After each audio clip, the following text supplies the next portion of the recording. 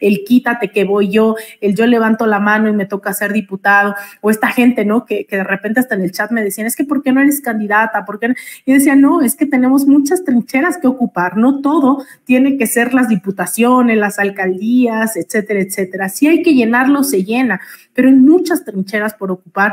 Una de ellas es la trinchera mediática y por eso es tan importante que, y, y estoy tan agradecida con la gente que se conecta, que nos sigue en nuestros nuevos proyectos, que comenta, que hace suya la información y estos espacios, porque la trinchera mediática es sumamente importante. Es, yo creo que, y yo, lo, yo siempre lo digo en talleres de formación política, es creo que el primer escalón en la toma de conciencia revolucionaria, el cómo te estás informando y por informarse no solo en los medios de comunicación, sino cómo, cómo te informas con el vecino panista, con la vecina morenista, con el vecino apático, con el, la vecina tal, ¿no? O sea, en, en la comunidad, cómo, cómo entiendes el mundo. Y ahí los medios de comunicación juegan un rol fundamental,